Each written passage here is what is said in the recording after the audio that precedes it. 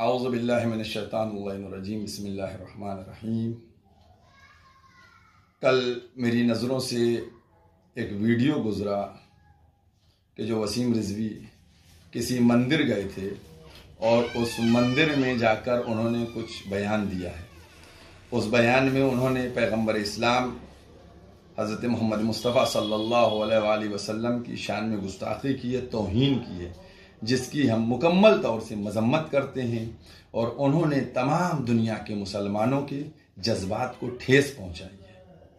मैं कहना ये चाहता हूँ कि जिस तरीके से वसीम रिजवी ने चार दिन कबल एक वीडियो डाला था सलमान नदवी के खिलाफ, और उसमें कुछ लोगों की उन्होंने मजम्मत और निंदा की थी।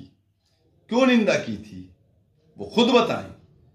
उन्होंने निंदा इसलिए उन लोगों की थी क्योंकि उन लोगों ने पैगंबर इस्लाम की तोहन की, नाफरमानी की, अहले बैत की अजमत का इनकार किया था, कुरान की तोहन कर रहे थे, मुखालिफ कुरान। तो जिस तरीके से वो लानत के मुस्तक हैं, उसी काम में और उसी लाइन में आप भी खड़े हुए हैं। आपने भी वही काम अंजाम दिया है।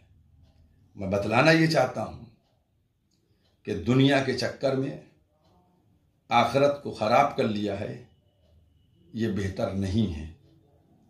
हम हुकूमत हिंद से मांग करते हैं कि हमारे मुल्क के संविधान में, हमारे मुल्क में किसी भी मज़हब के ऊपर इस तरीके से टिप्पणी करना, पैगंबर की शान में गुस्ताखी करना, आस्था को ठेस पहुंचाना, उस मज़हब के मानने वालों की आस्था को ठेस पहुंचाना, इसकी कोई गुंजाइश नहीं है।